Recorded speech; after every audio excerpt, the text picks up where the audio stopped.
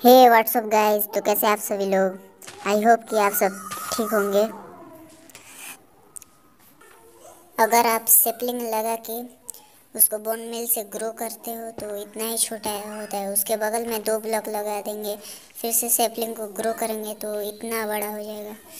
देखो, वीडियो अच्छी लगे तो सब्सक्राइब कर दीजिएगा, नहीं अच्छी लगे तो भी सब्सक्राइब कर दीजिएगा।